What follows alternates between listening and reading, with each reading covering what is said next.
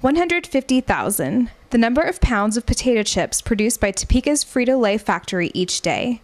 As the fourth largest plant in the country, Topeka's Frito Lay factory serves thousands of customers in the region, but many of them don't know exactly what goes into making a bag of chips. First, fresh potatoes are peeled, rinsed, and sliced according to type of chip being produced.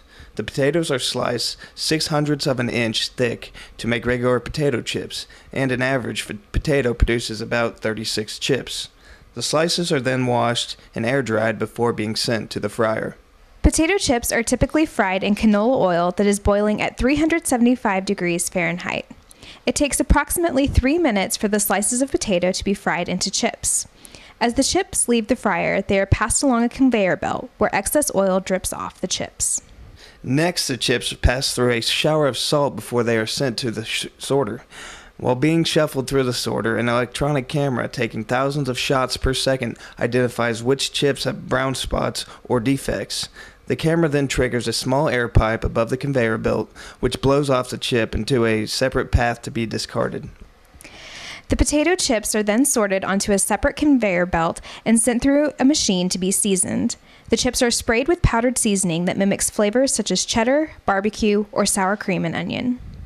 The next machine separates the chips into portions to be packaged. The bags come on a roll and are sent through a machine to be put together. The chips drop into the bags and are and are heat sealed to maintain freshness. The process to go from raw potatoes to a bag of potato chips takes approximately 15 minutes. Warren Roberts has been working at Topeka's Frito Lay factory for 12 years. He currently serves as a packaging lead and describes some of the work he performs on a daily basis. My current role now is uh, basically assisting the packers and PMOs out on the floor, also uh, working with scheduling, also my resource, updating my resource on how the factory floor is running at all times.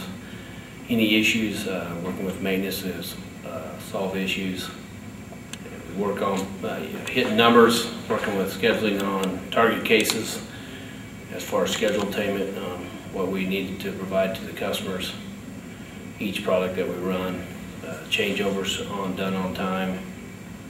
Ryan McGivern, operations resource at Topeka's Frito Lay factory, has been at the plant for six years and says that despite the economic crisis, Frito Lay has not been majorly affected in the last year. Uh, we did see a little bit of a downturn as far as our production with the economy, but one upside is a lot of people are staying home for dinner instead of going out and maybe eating a little bit more sandwiches for lunch. So when you eat your sandwich, you always have a bag of chips. So luckily, um, the salty snack industry here at Frito-Lay did not suffer too bad with the economy. We were fortunate enough to keep all of our employees employed. and There was no layoffs or or anything like that. So kind of when everybody kind of tightened their belts and ate at home, you know, they they were open to, able to open up a bag of chips. So that's why if we're going to charge the price we charge, we need to ensure that we have the best quality, and I think we do.